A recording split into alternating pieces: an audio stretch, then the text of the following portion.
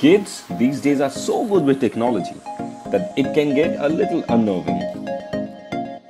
As our children grow in this digital world, coding has become a fundamental skill, just like maths, science, or language. Soon, coding may become imperative for getting jobs and even everyday life.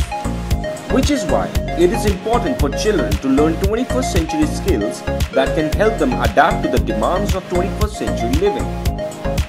Eupheus Learning and RoboGarden have collaborated to bring your children the Learn to Code program. A 17 hour certification program designed to teach kids from grades 1 to 12 the basics of coding in a gamified environment. For grades 1 to 4, the theme is that of a fun birthday party, where students will learn to solve some math puzzles, collect and move objects around.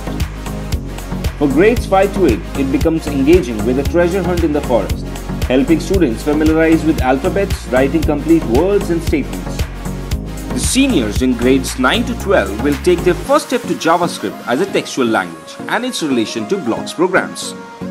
It's the perfect program to build 21st century skills and prepare your students for the future. What's more, at the end of the program, the students receive a joint certification from Eupheus Learning and RoboGarden. What's the cost? We hear you asking. It will cost 16 plus 1 hours of your students' time and some concentration. In other words, the course is completely free. So register now and help your students learn to code.